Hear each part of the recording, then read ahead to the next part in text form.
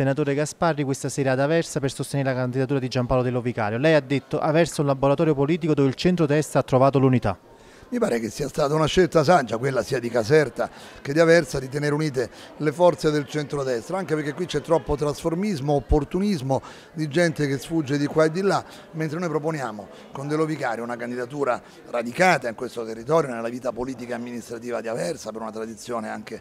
antica ma che trova in lui una proiezione verso il futuro. C'è una compagine che non si vergogna di ostentare simboli politici perché Aversa è una città importante, non può essere amministrata fuori da un sistema di relazioni politiche che la possa rilanciare come realtà laboriosa, operosa, tesa anche a valorizzare le sue antiche e tradizionali vocazioni nel campo eh, dei prodotti di qualità che noi dobbiamo valorizzare nei contesti internazionali. La presenza mia, che ovviamente si aggiunge a quella ben più importante e autorevole del Presidente Berlusconi, non vuole essere un modo per sfuggire ai temi del territorio che i nostri candidati e il nostro candidato al sindaco hanno interpretato in maniera molto chiara, ma di aggiungere forza, determinazione, eh, sostegno politico a una sfida importante. Quindi l'appello agli elettori in queste ultime ore a evitare di cadere nei soliti giochini di vecchi clientelismi, trasformismi, eh, finti civismi che poi sono tentativi di appropriarsi della pubblica amministrazione mentre invece noi vogliamo darla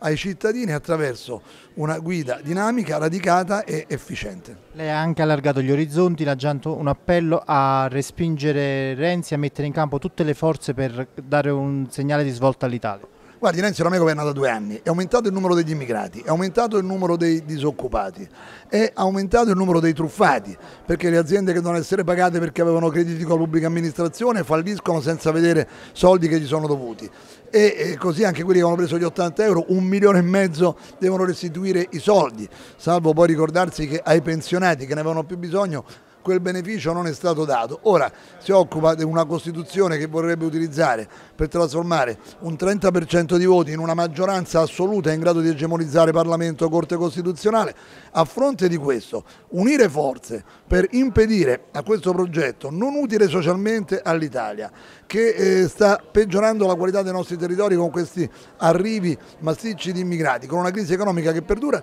credo che sia doveroso trovarsi qui alla Versa un passo avanti in questa consapevolezza di chiarezza politica, di coesione nella coalizione, credo che sia un vantaggio ed è per questo che confidiamo anche che la valutazione sul programma amministrativo sia generosa e positiva da parte degli elettori di Aversa.